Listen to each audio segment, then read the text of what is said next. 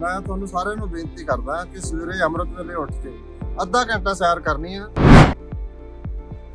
ਉਹਦੇ ਨਾਲ ਤੁਹਾਡਾ ਮੂਡ ਵੀ ਠੀਕ ਰਹੇਗਾ ਤੇ ਤੁਸੀਂ ਬਲੱਡ ਪ੍ਰੈਸ਼ਰ ਸ਼ੂਗਰ ਵਰਗੀਆਂ ਜਿਹੜੀਆਂ ਨਾਮਰਾਦ ਬਿਮਾਰੀਆਂ ਤੋਂ ਵੀ ਬਚ ਕੇ ਰਹੋਗੇ।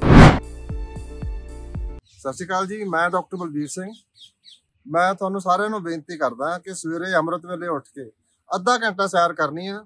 ਉਹਦੇ ਨਾਲ ਕੀ ਹੁੰਦਾ ਕਿ ਜਿਹੜੇ ਆਪਣੀ ਬਾਡੀ ਹੈਗੀ ਆ, ਉਹ ਹਾਰਮੋਨਸ ਰਿਲੀਜ਼ ਕਰਦੀ ਆ, ਜਿਹਨੂੰ ਜਿਵੇਂ ਜਿਹਨੂੰ ਖੁਸ਼ੀ ਦੇ ਹਾਰਮੋਨ ਕਹਿੰਦੇ ਆ ਐਂਡੋਰਫਿਨਸ ਡੋਪਾਮੀਨ ਉਹਦੇ ਨਾਲ ਤੁਹਾਡਾ ਮੂਡ ਵੀ ਠੀਕ ਰਹੇਗਾ ਤੇ ਤੁਸੀਂ ਬਲੱਡ ਪ੍ਰੈਸ਼ਰ ਸ਼ੂਗਰ ਵਰਗੀਆਂ ਜਿਹੜੀਆਂ ਨਾਮਰਾਦ ਬਿਮਾਰੀਆਂ ਤੋਂ ਵੀ ਬਚ ਕੇ ਰਹੋਗੇ। ਸੋ ਸਾਰਿਆਂ ਨੇ ਜਰੂਰ ਸਵੇਰੇ ਅੱਧਾ ਘੰਟਾ ਬ੍ਰਿਸਕ ਵਾਕਿੰਗ ਤੇਜ਼ ਜਿਹੜੀ ਸੈਰ ਕਰਨੀ ਆ, ਇਹਨੂੰ ਆਪਣਾ ਨਿਤਨੇਮ ਸਮਝੋ, ਮੰਨ ਲਓ ਜਿਸ ਤਰ੍ਹਾਂ ਨਿਤਨੇਮ ਕਰਦੇ ਆ, ਉਸੇ ਤਰ੍ਹਾਂ ਇਹਨੂੰ ਉਸੇ ਭਾਵਨਾ ਨਾਲ ਕਰੋ। ਬਹੁਤ ਬਹੁਤ ਧੰਨਵਾਦ। ਮੈਂ ਤੁਹਾਨੂੰ ਸਾਰਿਆਂ ਨੂੰ ਬੇਨਤੀ ਕਰਦਾ ਕਿ ਸਵੇਰੇ ਅੰਮ੍ਰਿਤ ਵੇਲੇ ਉੱਠ ਕੇ ਅੱਧਾ ਘੰਟਾ ਸੈਰ ਕਰਨੀ ਆ ਉਹਦੇ ਨਾਲ ਤੁਹਾਡਾ ਮੂਡ ਵੀ ਠੀਕ ਰਹੇਗਾ ਤੇ ਤੁਸੀਂ ਬਲੱਡ ਪ੍ਰੈਸ਼ਰ ਸ਼ੂਗਰ ਵਰਗੀਆਂ ਜਿਹੜੀਆਂ ਨਾਮਰਾਦ ਬਿਮਾਰੀਆਂ ਤੋਂ ਵੀ ਬਚ ਕੇ ਰਹੋਗੇ। ਸਤਿ ਸ਼੍ਰੀ ਅਕਾਲ ਜੀ, ਮੈਂ ਡਾਕਟਰ ਬਲਬੀਰ ਸਿੰਘ। ਮੈਂ ਤੁਹਾਨੂੰ ਸਾਰਿਆਂ ਨੂੰ ਬੇਨਤੀ ਕਰਦਾ ਕਿ ਸਵੇਰੇ ਅੰਮ੍ਰਿਤ ਵੇਲੇ ਉੱਠ ਕੇ ਅੱਧਾ ਘੰਟਾ ਸੈਰ ਕਰਨੀ ਆ। ਉਹਦੇ ਨਾਲ ਕੀ ਹੁੰਦਾ ਕਿ ਜਿਹੜੇ ਆਪਣੀ ਬਾਡੀ ਹੈਗੀ ਆ, ਉਹ ਹਾਰਮੋਨਸ ਰਿਲੀਜ਼ ਕਰਦੀ ਆ। ਜਿਹਨੂੰ ਜਿਵੇਂ ਜਿਹਨੂੰ ਖੁਸ਼ੀ ਦੇ ਹਾਰਮੋਨ ਕਹਿੰਦੇ ਆ ਐਂਡੋਰਫਿਨਸ ਡੋਪਾਮੀਨ ਉਹਦੇ ਨਾਲ ਤੁਹਾਡਾ ਮੂਡ ਵੀ ਠੀਕ ਰਹੇਗਾ ਤੇ ਤੁਸੀਂ ਬਲੱਡ ਪ੍ਰੈਸ਼ਰ ਸ਼ੂਗਰ ਵਰਗੀਆਂ ਜਿਹੜੀਆਂ ਨਾਮਰਾਦ ਬਿਮਾਰੀਆਂ ਤੋਂ ਵੀ ਬਚ ਕੇ ਰਹੋਗੇ। ਸੋ ਸਾਰਿਆਂ ਨੇ ਜਰੂਰ ਸਵੇਰੇ ਅੱਧਾ ਘੰਟਾ ਬ੍ਰਿਸਕ ਵਾਕਿੰਗ ਤੇਜ਼ ਜਿਹੜੀ ਸੈਰ ਕਰਨੀ ਆ, ਇਹਨੂੰ ਆਪਣਾ ਨਿਤਨੇਮ ਸਮਝੋ, ਮੰਨ ਲਓ ਜਿਸ ਤਰ੍ਹਾਂ ਨਿਤਨੇਮ ਕਰਦੇ ਆ, ਉਸੇ ਤਰ੍ਹਾਂ ਇਹਨੂੰ ਉਸੇ ਭਾਵਨਾ ਨਾਲ ਕਰੋ। ਬਹੁਤ ਬਹੁਤ ਧੰਨਵਾਦ। ਮੈਂ ਤੁਹਾਨੂੰ ਸਾਰਿਆਂ ਨੂੰ ਬੇਨਤੀ ਕਰਦਾ ਕਿ ਸਵੇਰੇ ਅੰਮ੍ਰਿਤ ਵੇਲੇ ਉੱਠ ਕੇ ਅੱਧਾ ਘੰਟਾ ਸੈਰ ਕਰਨੀ ਆ। ਉਹਦੇ ਨਾਲ ਤੁਹਾਡਾ ਮੂਡ ਵੀ ਠੀਕ ਰਹੇਗਾ ਤੇ ਤੁਸੀਂ ਬਲੱਡ ਪ੍ਰੈਸ਼ਰ ਸ਼ੂਗਰ ਵਰਗੀਆਂ ਜਿਹੜੀਆਂ ਨਾਮਰਾਦ ਬਿਮਾਰੀਆਂ ਤੋਂ ਵੀ ਬਚ ਕੇ ਰਹੋਗੇ। ਸਤਿ ਸ਼੍ਰੀ ਅਕਾਲ ਜੀ, ਮੈਂ ਡਾਕਟਰ ਬਲਬੀਰ ਸਿੰਘ। ਮੈਂ ਤੁਹਾਨੂੰ ਸਾਰਿਆਂ ਨੂੰ ਬੇਨਤੀ ਕਰਦਾ ਕਿ ਸਵੇਰੇ ਅੰਮ੍ਰਿਤ ਵੇਲੇ ਉੱਠ ਕੇ ਅੱਧਾ ਘੰਟਾ ਸੈਰ ਕਰਨੀ ਆ।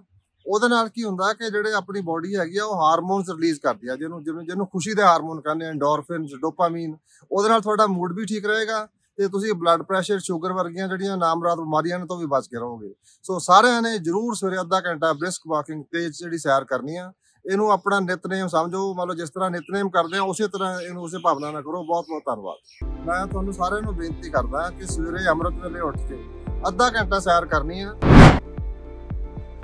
ਉਹਦੇ ਨਾਲ ਤੁਹਾਡਾ ਮੂਡ ਵੀ ਠੀਕ ਰਹੇਗਾ ਤੇ ਤੁਸੀਂ ਬਲੱਡ ਪ੍ਰੈਸ਼ਰ ਸ਼ੂਗਰ ਵਰਗੀਆਂ ਜਿਹੜੀਆਂ ਨਾਮਰਾਦ ਬਿਮਾਰੀਆਂ ਤੋਂ ਵੀ ਬਚ ਕੇ ਰਹੋਗੇ। ਸਤਿ ਸ਼੍ਰੀ ਅਕਾਲ ਜੀ, ਮੈਂ ਡਾਕਟਰ ਬਲਬੀਰ ਸਿੰਘ। ਮੈਂ ਤੁਹਾਨੂੰ ਸਾਰਿਆਂ ਨੂੰ ਬੇਨਤੀ ਕਰਦਾ ਕਿ ਸਵੇਰੇ ਅੰਮ੍ਰਿਤ ਵੇਲੇ ਉੱਠ ਕੇ ਅੱਧਾ ਘੰਟਾ ਸੈਰ ਕਰਨੀ ਆ। ਉਹਦੇ ਨਾਲ ਕੀ ਹੁੰਦਾ ਕਿ ਜਿਹੜੇ ਆਪਣੀ ਬਾਡੀ ਹੈਗੀ ਆ, ਉਹ ਹਾਰਮੋਨਸ ਰਿਲੀਜ਼ ਕਰਦੀ ਆ, ਜਿਹਨੂੰ ਜਿਵੇਂ ਜਿਹਨੂੰ ਖੁਸ਼ੀ ਦੇ ਹਾਰਮੋਨ ਕਹਿੰਦੇ ਆ ਐਂਡੋਰਫਿਨਸ ਡੋਪਾਮੀਨ ਉਹਦੇ ਨਾਲ ਤੁਹਾਡਾ ਮੂਡ ਵੀ ਠੀਕ ਰਹੇਗਾ ਤੇ ਤੁਸੀਂ ਬਲੱਡ ਪ੍ਰੈਸ਼ਰ ਸ਼ੂਗਰ ਵਰਗੀਆਂ ਜਿਹੜੀਆਂ ਨਾਮਰਾਦ ਬਿਮਾਰੀਆਂ ਤੋਂ ਵੀ ਬਚ ਕੇ ਰਹੋਗੇ। ਸੋ ਸਾਰਿਆਂ ਨੇ ਜਰੂਰ ਸਵੇਰੇ ਅੱਧਾ ਘੰਟਾ ਬ੍ਰਿਸਕ ਵਾਕਿੰਗ ਤੇਜ਼ ਜਿਹੜੀ ਸੈਰ ਕਰਨੀ ਆ, ਇਹਨੂੰ ਆਪਣਾ ਨਿਤਨੇਮ ਸਮਝੋ, ਮੰਨ ਲਓ ਜਿਸ ਤਰ੍ਹਾਂ ਨਿਤਨੇਮ ਕਰਦੇ ਆ, ਉਸੇ ਤਰ੍ਹਾਂ ਇਹਨੂੰ ਉਸੇ ਭਾਵਨਾ ਨਾਲ ਕਰੋ। ਬਹੁਤ ਬਹੁਤ ਧੰਨਵਾਦ। ਮੈਂ ਤੁਹਾਨੂੰ ਸਾਰਿਆਂ ਨੂੰ ਬੇਨਤੀ ਕਰਦਾ ਕਿ ਸਵੇਰੇ ਅੰਮ੍ਰਿਤ ਵੇਲੇ ਉੱਠ ਕੇ ਅੱਧਾ ਘੰਟਾ ਸੈਰ ਕਰਨੀ ਆ। ਉਹਦੇ ਨਾਲ ਤੁਹਾਡਾ ਮੂਡ ਵੀ ਠੀਕ ਰਹੇਗਾ ਤੇ ਤੁਸੀਂ ਬਲੱਡ ਪ੍ਰੈਸ਼ਰ ਸ਼ੂਗਰ ਵਰਗੀਆਂ ਜਿਹੜੀਆਂ ਨਾਮਰਾਦ ਬਿਮਾਰੀਆਂ ਤੋਂ ਵੀ ਬਚ ਕੇ ਰਹੋਗੇ।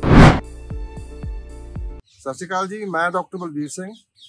ਮੈਂ ਤੁਹਾਨੂੰ ਸਾਰਿਆਂ ਨੂੰ ਬੇਨਤੀ ਕਰਦਾ ਕਿ ਸਵੇਰੇ ਅੰਮ੍ਰਿਤ ਵੇਲੇ ਉੱਠ ਕੇ ਅੱਧਾ ਘੰਟਾ ਸੈਰ ਕਰਨੀ ਆ।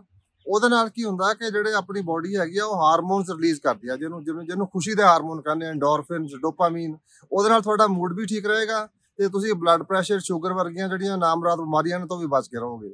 ਸੋ ਸਾਰਿਆਂ ਨੇ ਜਰੂਰ ਸਵੇਰੇ ਅੱਧਾ ਘੰਟਾ ਬ੍ਰਿਸਕ ਵਾਕਿੰਗ ਤੇਜ਼ ਜਿਹੜੀ ਸੈਰ ਕਰਨੀ ਆ, ਇਹਨੂੰ ਆਪਣਾ ਨਿਤਨੇਮ ਸਮਝੋ। ਮੰਨ ਲਓ ਜਿਸ ਤਰ੍ਹਾਂ ਨਿਤਨੇਮ ਕਰਦੇ ਆ, ਉਸੇ ਤਰ੍ਹਾਂ ਇਹਨੂੰ ਉਸੇ ਭਾਵਨਾ ਨਾਲ ਕਰੋ। ਬਹੁਤ ਬਹੁਤ ਧੰਨਵਾਦ।